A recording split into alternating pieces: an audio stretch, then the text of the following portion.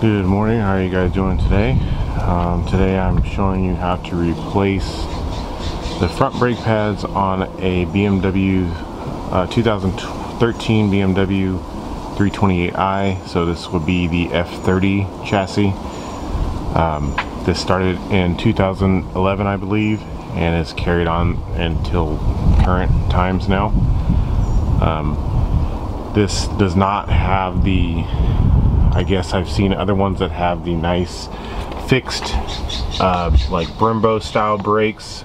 These are just the normal traditional BMW brakes that come on uh, come standard with most of the cars. These are probably the ones you'll see most everywhere. But you won't need too much for this job. You'll just need uh, a flathead screwdriver. You'll need a way to compress the caliper back into the piston. And then you'll also need an 8 millimeter uh, Allen head socket.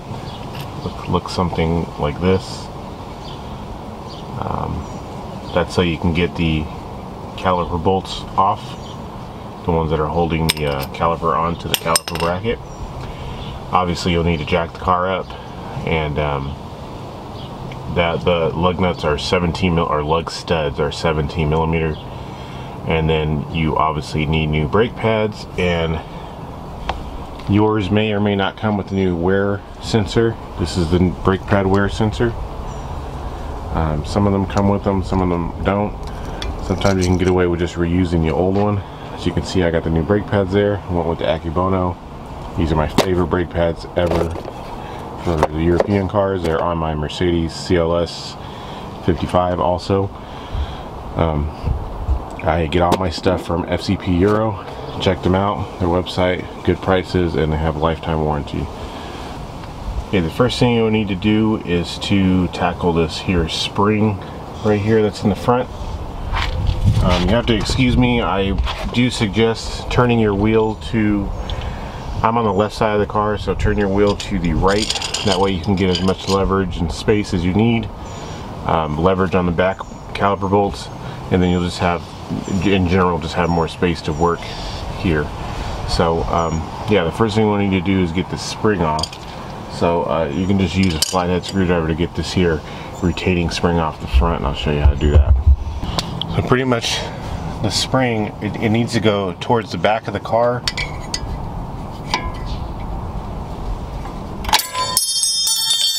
then pretty much it'll just do that.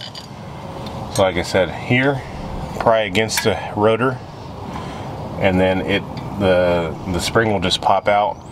Um, I guess I suggest be careful that it doesn't fly up into your eyes. It never has for me, but it will come off like so. If you find that it's difficult and it's still not wanting to come off, you can grab a second flathead screwdriver and use it to pry the the top. Uh, use it to stick a excuse me, use a small one and stick it right inside here so that you can pry it out of the hole. But like I said, it usually just comes out just like that and it's good to go. Okay, after you got that front retaining spring off, you'll now want to focus your attention on the wear sensor, which is this little guy right here. Um, it goes, follow it back up, it gets attached into the bracket right here, which I've already taken out. I just used a, a flathead screwdriver to pry that out. And it also does, it also goes into the bracket right here as well. I've, I've already pulled it out as you can see. And you'll just follow it back into this box that's over here in the back. See that box back there? Uh, this box just opens up on the side like so. You open it up. Sorry, let me open it up for you and then in here you'll notice that there is a connector right here on the right side. Um, you can just pull this whole entire thing out of this box like so. So you have it free. And then excuse my camera. What you want to do is just pretty much just this is a tab right here. You can just push it with your finger and pull them both apart obviously I can't pull them both apart right now because I'm holding the camera in my other hand. But yeah, you just push on this little tab right here in the end that you see me pushing with my thumb and then just pull the connectors apart. and then you can go on ahead and uh, come back here. And then this wire will just it'll just pull straight out of this uh, brake pad. If it's kind of difficult just get a pair of pliers and grab right here and pull it out. So I'm gonna go ahead and do that. I want to move to the back of the caliper where the caliper bolts will be at. Um, I already took the caps off. Excuse my camera shaking around. But right here there's usually these little plastic caps on it that look like like that. Um, you can just use a flathead screwdriver on them to just pop the caps off like this. And use your hands to pull them off. There's one there by the bleed screw. And then there's another one right there on the bottom. You probably can't see them zoomed in pretty close to it. Right here on the bottom there's another one. Um, after you get those caps off, there those are the two 8 millimeter uh, bolts that you need to take out. So um, you will notice when you're loosening the bolts up, uh, the bolts are actually loosening this here bolt that's right here. Um, when you do get them loosened, you'll start to see threads right here from the screw. It, uh, it's pretty easy to, uh, it's easy if you can get, you know, once you've loosened up the screw, if you can get your flathead in here and pry, pry the screw that way a little bit, trust me, you're not going to damage it at all. Um, just pry it this way. Um, that enables you to get the caliper off a little bit easier. Okay, once you've got the two caliper bolts loose, you go on ahead and just remove the brake caliper like so. Um, now is a good now is a good time to get your um, piston compression tool since you can just leave this here pad in here and then you can uh, compress it. So I'm gonna go ahead and set this up here and go grab my uh, tool. Okay, as you can see, I got my compression tool in here set up like so. Pretty much just going to turn this until I get the piston all the way back into the caliper. Now I would like to know that um, sometimes, now I've done brakes a lot and on occasion, sometimes when you're compressing these back in, the um, the the brake master cylinder or the fluid reservoir for the brake master cylinder may become overflowed in which case you need to put a drain pan or something under the car to catch it because it's going to fall down. Compress this back in. You can go ahead and just pull on the side. Pull on this pad right here and it'll just come right out. And then you can just I, I just I just hang the caliper um, by the uh, spring up top and just just leave it up there. Then you can go ahead and pull out the other pad here, just like so. And then go ahead and grab your new pads and slide them into place. Okay, the front the front pad you're gonna need to slide, just take it and slide it right back to where it was at, right like so. And then the, the rear pad you need to actually take, see it has springs on it here, you need to take it and push it back into the caliper. Um, so that way you can just slide everything back on together.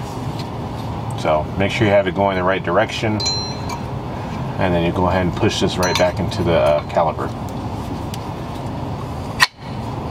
Just like so.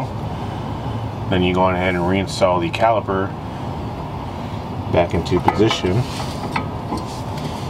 You may you may find that you need to push the the caliper bolts. You need to push them out so that you can have room to put the slide this back into place and then right when you got them back into place you can go on ahead and retighten up the 8 millimeter socket bolts uh, that are holding the caliper on. Make sure you reinstall the plastic caps that cover the bolts in the back. Then we can go on ahead and reinstall this front retaining spring. Um, uh, you may need to find that you use a maybe a pair of pliers or flathead screwdriver to install this. Um, most every time I install these I just do it by hand. I first stick on this bottom piece here, slides right onto the bottom. It rests, it's supposed to rest against here. And then I kind of just work this one into the hole here like, like so, just like how you see it like this. And then, then I work over the top one into the hole while while also trying to I kind of I kind of put my finger right here get this one on the top first. I know it's kind of hard to see in the camera. But you can completely do this by hand just like this. Kind of just push them into place how they go. Uh, it's pretty easy. You just start by getting these two bottom ones into the holes first. Or excuse me, two bottom one goes into the hole, this one kind of rests right here, and then you then you kind of like do this kind of motion. It'll come together like this. At first it'll be crooked, then it'll move straight when you put it into place. So now it's time to install the wear sensor. Um, you'll see it has a, the rounded edge here with a piece of metal in it. Um, what you want to do is take that and push it into the pad in the back. Here, I'll show you on the old pad. See the old pad here?